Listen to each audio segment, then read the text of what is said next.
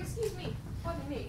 So, hi, gentlemen. Uh, my name is Gangleri. I've just got off a ship from Norway. Uh, could you point me in the direction of the chief? You what? the, the chief?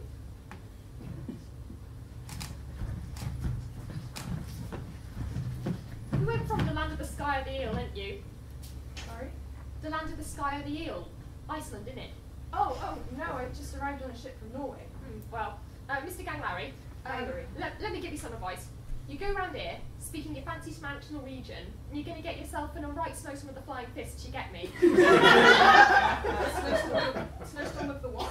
yeah, so maybe try and blend in a bit more. Um, okay, how, how do I do that?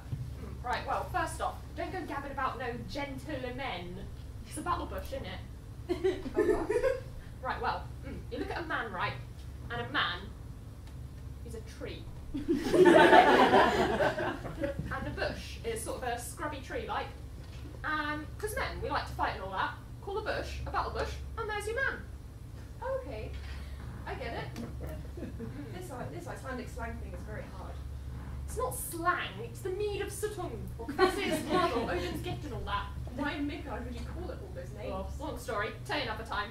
Uh, better, better stick with simple ones, yeah? Mm. And he says you're off to the governor, yeah? Yes, that's right, the chief. Mm, right, well, hmm. The governor's a bit temperamental, like. You better have something special for him. Like a fancy title? Yeah, oh, and if you want some dosh off him, better put that in as well. Uh, so you go to the chief, and you call him. The ring-breaking tree of the hail of the flame of the feast of the corpse griffin. Would you Adam and Eve? He's got it. Who are Adam and Eve? No idea. Anyway, you want to be on up to, uh, off up to his needle? It's, it's the one up there with all the, the golden and the glowing swords and all that. Do you, do you mean that mead hall over there? Yeah, that's the one. I can't see any glowing shields or swords. You mean you can't see the glowing swords? No, I, I don't think they exist. Huh. Guess I'm just high.